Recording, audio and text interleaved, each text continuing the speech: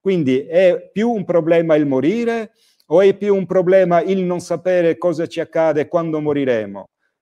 O è un problema il non sapere a quali leggi, una volta morti, noi saremo sottoposti?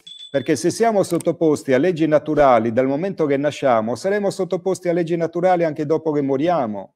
E ci sono scoperte, posso citare lo scienziato tedesco Albert Fritz Popp nel 1976, pensate 76, Pop scopre che i corpi umani emettono luce, biofotoni li hanno chiamati, quindi noi siamo luce, oggi oggi ci sono apparecchiature scientifiche che addirittura la luce emessa dal corpo, luce pulsante, la possono filmare, quindi noi siamo la luce, la luce che fa? La vaccini, ma di cosa stiamo parlando? Stiamo impazzendo, questo è il problema, Michele. L'umanità è impazzita, è in delirio totale, una società di folli.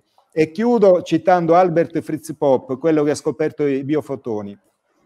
Oggi sappiamo che l'uomo in sostanza è un essere di luce. Oh, ma guarda, ce lo dice uno scienziato. Da migliaia di anni ce lo dicevano i mistici. Allora è scienza, Michele, scienza dello certo, spirito. Assolutamente.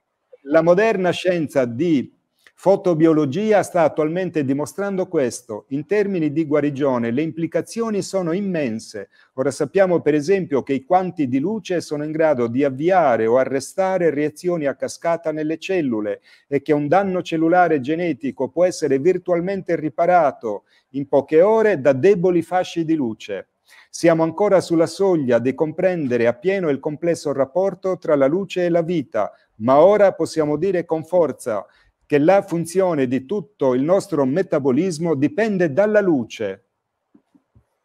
È fantastico. Già, eh, guarda, intanto ti ringrazio. Luce, luce, eterna che viene dall'amore di un essere meraviglioso che ci ha creato fantastico. e gli sputiamo sulla faccia, rovinando la sua divina creazione.